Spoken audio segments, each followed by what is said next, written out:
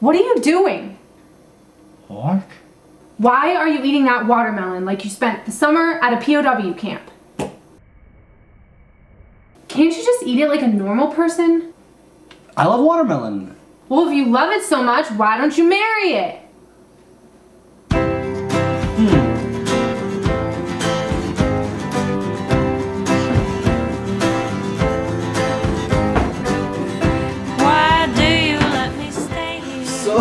hungry. All by myself. Why don't you come and play here? I'm just sitting on the shelf. Why don't you sing?